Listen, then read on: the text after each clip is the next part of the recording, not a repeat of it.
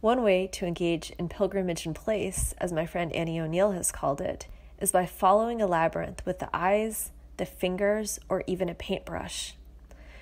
When walking or tracing a labyrinth, we follow a circuitous path to the center and back out again, often emerging a little wiser or at least a little less stressed.